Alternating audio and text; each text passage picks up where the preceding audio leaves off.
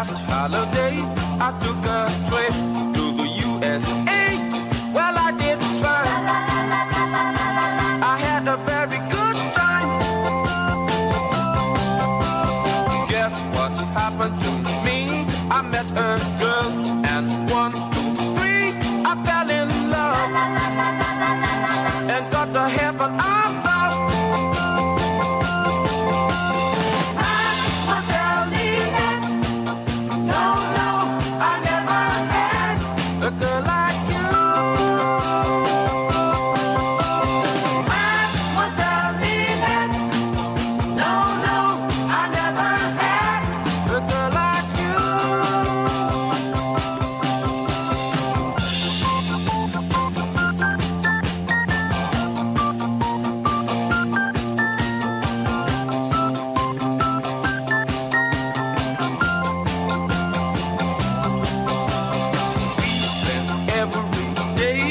was so nice that even today I see Ninette.